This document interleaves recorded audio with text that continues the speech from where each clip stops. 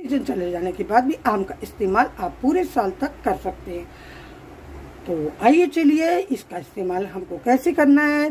बनाना शुरू करते हैं, चलते हैं किचन में देखते हैं इसको कैसे बनाना है, मिलकर बनाते हैं। जा रहे आम की बहुत ही टेस्टी और हेल्दी आम तो ऐसा फल होता है, गर्मियों में आता है। आम तो सबको पसंद होता है, बच्चे हों, बड़े हों, बूढ़े हों, आम हम सबको बेहद पसंद होता तो दोस्तों, आज हम आपके साथ आम की बहुत ही यूनिक रेसिपी शेयर करने जा रहे हैं। इसके लिए मैंने ये तीन आम लिए हैं।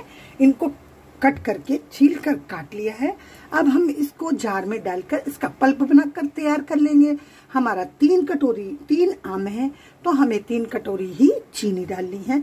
दोस्तों, आज हम ऐसी रेसिपी बनाने जा रहे हैं, जिसको आप स्टोर करके साल भर तक अब आपको आम खाने के लिए कोई दिक्कत नहीं होगी। थालियों में फैला देंगे। इस तरीके की तरीके की थाली लेंगे। जब हम चीनी और आम बराबर से मिक्सी के जार में डालकर इसका पेस्ट बनाकर तैयार कर लेंगे तो थालियों में इस तरीके से पतला पतला फैला देंगे। आपका पेस्ट दो थालियों में आए, तीन थालियों में आए, उस तरीके से आप देख लीजिएगा। और इस, उसको, और एक ज़रूरी बात दोस्तों, इस पेस्ट को आप सुखाएँगे तो पंखे की हवा में ही सुखाइएगा, वरना ये हमारा धूप में मत रखिएगा। इस बात का ध्यान रखिएगा दोस्तों, हमको आपको ये क्लिप फिर से बनानी पड़ रही है, क्योंकि हमारी क्लिप मिस हो गई थी, इसलिए हम आपको एक्सप्लेन कर रहे हैं। फिर से आगे का वीडियो आपको मिल जाएगा, हमारे, मिलेगा पूरा है क्योंकि ये वीडियो मेरा मोबाइल मेरा खराब हो गया था तो क्लिप्स हमारी खराब हो गई थी। मुझे नहीं मिली, इसलिए हम आपके साथ फिर से शेयर कर रहे हैं। आम, फिर से हम बताते हैं ये हमारे तीन आम है। इसको मिक्सी के जार में तीन आम, तीन कटोरी चीनी जार में डालकर इसका पेस्ट बनाकर तैयार कर लेंगे। इस तरीके की हम थाली लेंगे। थाली में पतला पतला पेस्ट फैला देंगे। तीन पतला पतला फैलाएगा और इसको पंखे की हवा में ही सुखाएँगे। फिर उसके बाद हम आपको दिखाते हैं। ये देखिए, आम का पल्प मिक्स करके हमने सूखने के लिए प्लेटों में लगाया था। ये आज हमारा दूसरा दिन है। हमने इसको सूखने के लिए रखा था। अब हम इसको फिर से मिक्स कर देंगे दोनों थालियों को और फिर से फैला देंगे। इस बात का ध्यान रखेगा और आप इसको धूप में तो सुखाइएगा नहीं बना हमारी चाशनी जो हम रेसिपी बनाएँगे, इससे जिसको साल भर तक हम स्टोर करके रखेंगे, वो बिल्कुल खराब हो जाएगी। ये देखिए, हमने इसको आपके सामने मिक्स कर दिया है। और इसको फिर से हम ड्राई होने के लिए रख देंगे। हम आपको इसी तरीके से दूसरी भी करके दिखाते हैं। और लेयर जो है पतली पतली फैलाइएगा। इससे हमारी रेसिपी जल्दी बनकर तैयार होगी देखिए, हमने मिक्स कर दिया, इसको फैला देंगे और फिर से इसको हम सूखने के लिए छोड़ देंगे। यकीन मानिए दोस्तों, इस रेसिपी को एक बार ज़रूर बनाकर ट्राई कीजिएगा। आपको पूरे साल तक आम आम का मज़ा मिलेगा।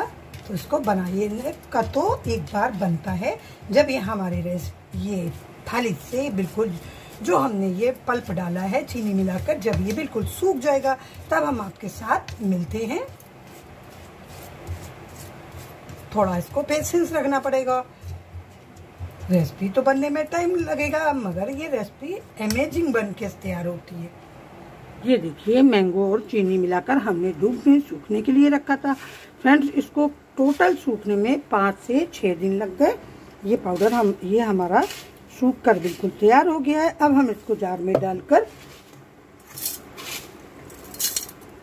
पीस लेंगे, इसका महीन पाउडर बना लेंगे। ये देखिए, हमने इसको पीस लिया। ये हमारा कितना फाइन पाउडर बन के तैयार हो गया है।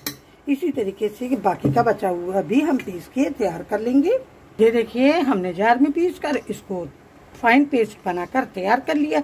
अब आप आप इसको कभी भी इस्तेमाल कर सकते हैं, चाहे आप आइसक्रीम जमाइए, कुल्फी जमाइए, मैंगो शेक बनाइए, मिल्क शेक बनाइए, कुछ भी बनाइए, हम ही हम आपको इसको मैंगो, मिल्क भी भी बनाकर दिखाते हैं। और हम हम इसके अंदर एक चम्मच ये मैंगो पाउडर डालेंगे।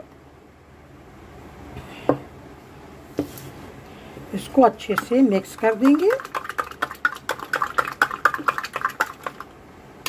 ये देखो हमारा मैंगो शेक बनकर तैयार हो गया। आप इसको कभी भी इस्तेमाल कर सकते हैं बच्चों को देना हो। आप अगर आप चाहें तो इसके अंदर ड्राई फ्रूट्स वगैरह भी डाल सकते हैं, लेकिन हमने इसके अंदर कुछ भी नहीं डाला है। तो दोस्तों, आप भी बनाएगा और कमेंट में बताएगा कि आपको बनाई हुई हमारी ये रेसिपी कैसी लगी। और अभी तक आपने हमारा चैनल सब्सक्राइब नहीं किया तो चैनल को सब्सक्राइब बेल आइकन ऑल पर प्रेस और वीडियो को फ्रेंड्स और फैमिली के साथ शेयर कीजिएगा। दोस्तों, हम अपने चैनल पर डेली इसी तरीके की नई नई और आसान रेसिपी लाते रहते हैं। तो मिलते हैं नए वीडियो के साथ। Thanks for watching bye bye